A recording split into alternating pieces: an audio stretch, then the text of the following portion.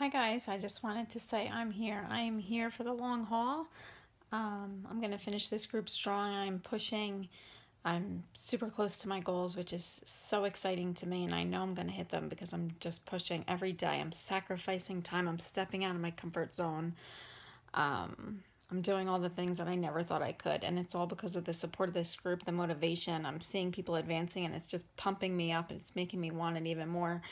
Um, so yeah, I'm here. I just keep thinking about my future and how bright it's going to be. Like, it's funny that Ashley, you mentioned in two years we're gonna look back and thank someone, and that's what I keep thinking about. Like, wow, in two years I'm gonna look back and say, wow, I'm so glad I stuck.